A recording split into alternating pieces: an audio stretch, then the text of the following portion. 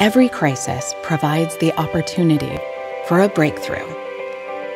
In 1849, we made our first breakthrough an inventive and groundbreaking way to treat parasites. We discovered how to get life saving supplies to the Union Army. We broke through the barriers of mass production, making penicillin and other antibiotics accessible on a massive scale. The life preserving drugs known as antibiotics met the challenges of war.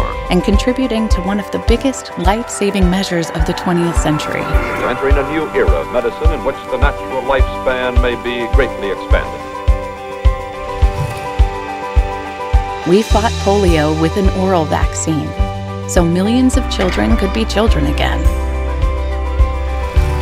We innovated a needle that would be one of the key tools in eradicating smallpox. Disease has been wiped off the face of the earth. We took on some of the greatest causes of pain, illness, and early death and fought them with treatments that improved the quality of our hearts, bodies, and even helped the way we love.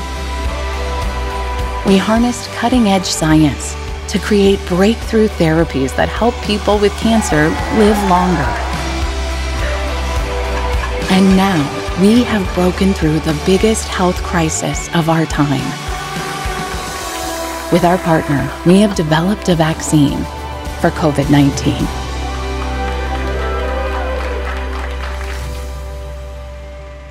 Over 170 years of breakthroughs, and we're just getting started.